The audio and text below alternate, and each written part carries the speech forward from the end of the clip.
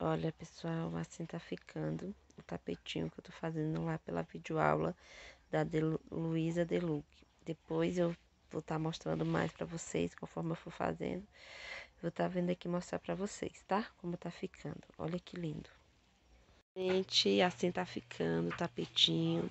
Eu vou estar tá trazendo, toda vez que eu fazer, tiver aqui, eu vou estar tá trazendo pra vocês, tá? Já começou aqui a diminuir, ó Aí eu vou estar tá mostrando aqui para vocês. E essa linha é um resto de linha que tem aqui, que eu tenho aqui, ó. Uma sobrinha, uma sobrinha de linha que eu tenho aqui. Que eu fiz um jogo de banheiro com ele, que é, que é o verde água. Aí agora eu tô fazendo esse tapete. Olha, vai dar e ainda vai sobrar. Aí eu vou estar tá trazendo aqui para vocês, tá bom? Conforme eu for fazendo. Então, pessoal, esse aqui é o resultado do tapetinho, né? Do grupo lá do Gui, da, do grupo Família do Gui, do WhatsApp. E ele é da, da professora Luísa Delu. E eu vou estar tá deixando o link dele aí para vocês, tá bom? É, olha como ele é lindo. Ele ficou medindo 71 por 57, então ficou um tamanho bom de tapete.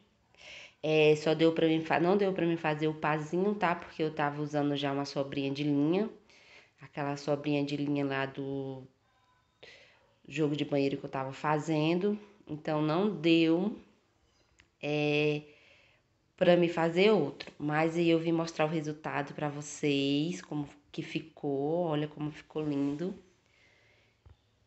Olha só, gente. Eu vou estar tá deixando o link da videoaula aí para vocês, tá bom?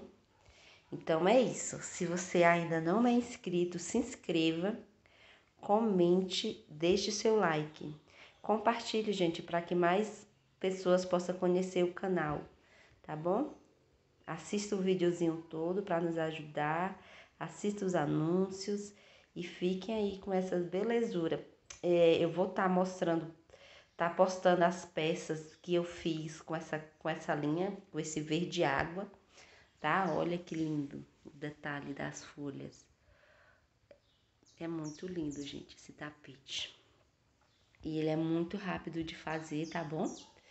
Dava, se eu tivesse mais linha, eu ia fazer o pazinho, mas aí como já era sobrinha, não teve como eu fazer outro, tá bom?